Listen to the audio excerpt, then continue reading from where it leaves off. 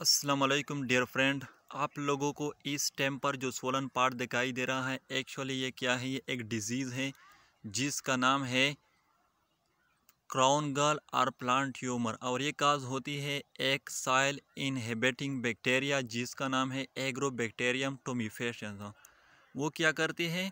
वो स्टेम या ब्रांच में रेपिड ग्रोथ जो है, उसको स्टिमुलेट कर देती है, जिससे यह डिज़ीज़ जो है, ये काज हो जाती है।